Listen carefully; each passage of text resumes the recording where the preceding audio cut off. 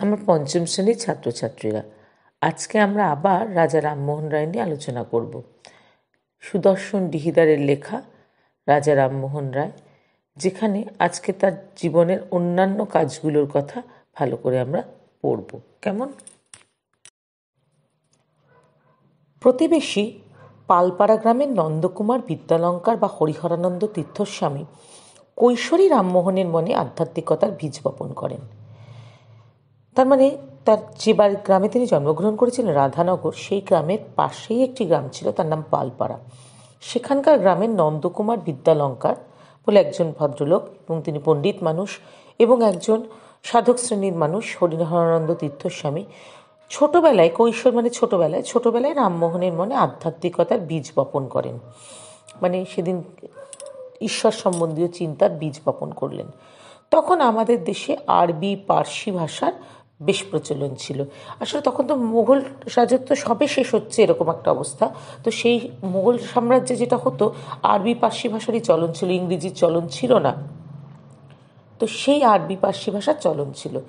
এই ভাষার মূল শিক্ষার কেন্দ্রটা ছিল হচ্ছে পাটনা। রামমোহন তখন খুব অল্প বয়সে পাটনা যান। শোনা যায় এগারো কি বারো বছর বয়সে পাটনা যান উনি। আরবি পার্সি ভাষা শিখতে। অল্প দিনের মধ্যে এই দুটো ভাষায় তিনি খুব ভালো করে পাণ্ডিত্য অর্জন করেন। বুৎপত্তি মানে খুব ভালো করে দখল হয়। এই সময় তিনি নাকি কোরআন পাঠ করেছিলেন। মানে কোরআন তো আরবি পার্সি ভাষায় লিখিত, আরবিতে মনে হয় লিখিত বা পার্সিতে, তা সেখানে সেই কোরআন পাঠটা তিনি করেছিলেন। ক্রমে ক্রমে তিনি বিভিন্ন ধর্ম, ধর্মের বই পড়ে তিনি এটা তার মনে একদম সুগভীরভাবে ঢোকে যে সব ধর্মে একজন ঈশ্বর, সব ধর্মের ঈশ্বর এক, কোনো পার্থক্য নেই, হিন্দু, মুসলমান, সমস্ত ধর্মে। তো সেইটা তার মধ্যে একেবারে ভেতরে ঢুকে গেল এবং তার প্রতি বিশ্বাস জন্মাতে আরম্ভ করল। এবং মূর্তি পুজোর বিরুদ্ধে পৌত্তলিকতার পৌত্তলিকতার বিরোধী ভাবধারা জাগ্রত হয়। মানে মূর্তি পুজোর বিরুদ্ধে তার একটা ভাবধারা মনের মধ্যে আসতে আরম্ভ করল।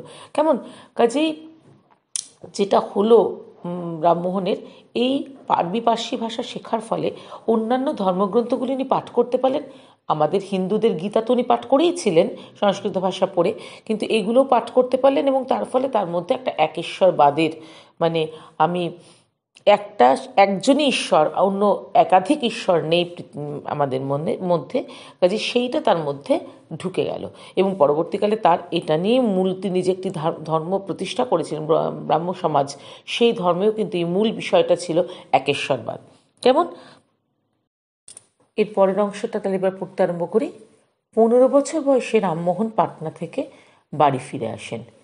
একদিন তার পিতা লক্ষ্য করেন যে রামমোহন মূর্তি পুজোর প্রতিবাদ করে পার্সিতে বই লিখছে। ফলে পিতা ও পুত্রে এ বিষয়ে তর্ক বিতর্ক হয়। রামমোহন তদানীন্তন হিন্দু ধর্মে যে কুসংস্কার ছিল, তা প্রত্যক্ষ করে পিতার সঙ্গে শাস্ত্রীয় তর্কে অবতীর্ণ হয়েছিলেন। রামকান্ত ছেলেকে বসে আনতে না পেরে বাড়ি থেকে বের করে দিলেন। তাহলে ঘটনাটা কি ঘটলো? আমরা শুনে, আগে আলোচনা করেছিলাম যে বারো বছর বয়সে রামমোহন কিন্তু পাটনা গিয়েছিলেন। এবং পাটনায় গিয়ে সেখানে তিনি আরবি এবং ফার্সি ভাষা শেখার জন্য গিয়েছিলেন। এবং সেখানে তিনি চার বছর ছিলেন এবং পনেরো বছর বয়সে পাটনা থেকে বাড়ি ফিরে এসেছিলেন।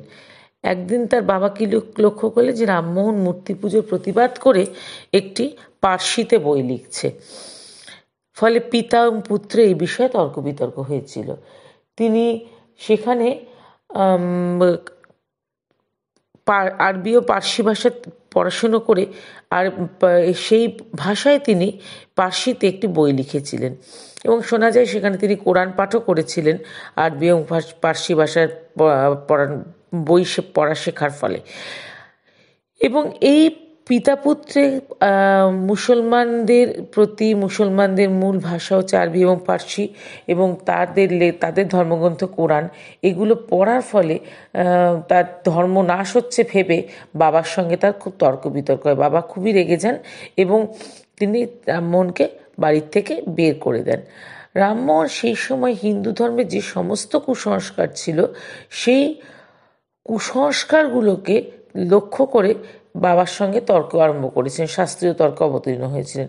কিন্তু বাবা তার সঙ্গে তর্ক করে পারেননি সেই জন্য বাবা তাকে মান বজায় রাখার জন্য, নিজের মান বজায় রাখার জন্য তাকে বাড়ির থেকে বার করে দিয়েছিলেন।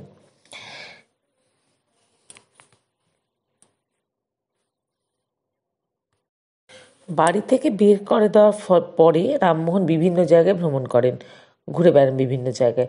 সেখানে তিনি বিভিন্ন ধর্মগ্রন্থ পড়েন। এই সময় তিনি তিব্বতেও গিয়েছিলেন, সেখানে তিনি চুপ করে থাকতে পারেননি। সেখানকার বৌদ্ধ ধর্মের মধ্যেও নানা কুসংস্কার প্রবেশ করেছিল, তিনি তার প্রতিবাদ করেন। ফলে সেখানকার বৌদ্ধ সন্ন্যাসীরা তাকে মেরে ফেলার জন্য ষড়যন্ত্র করে। এই সময় ওখানকার মেয়েদের সাহায্যেই নাকি তিনি প্রাণে বেঁচে যান এবং সম্ভবত এই জন্য স্ত্রী জাতির প্রতি রামমোহনের অগাধ শ্রদ্ধা ছিল। বাবা যখন তাকে বাড়ির থেকে বার করে দিয়েছিলেন, তখন তিনি নানা জায়গায় ঘুরে বেরিয়েছেন এবং অল্প বয়সী ছেলে, পনেরো বছরের একটি ছেলেকে যখন বাবা বা- বাড়ির থেকে বার করে দেয়, তখন সে কী অসুবিধার মধ্যে পড়তে পারে সেটা আমাদের সবারই ধারণায় আছে। কিন্তু তিনি বিভিন্ন জায়গায় ঘুরে ঘুরে সে বিভিন্ন ধর্মগ্রন্থ পাঠ করেছিলেন। তার উদ্দেশ্য ছিল এটা বোঝা যে ঈশ্বর কি বিভিন্ন নাকি এক অভিন্ন।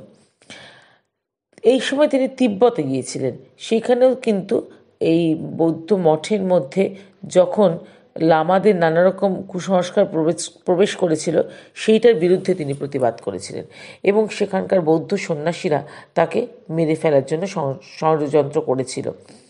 কিন্তু ওখানকার মেয়েরা, মায়ের জাত, তারা রামমোহনকে সুস্থ মতে ওখান থেকে বেরোনোর জন্য সাহায্য করে।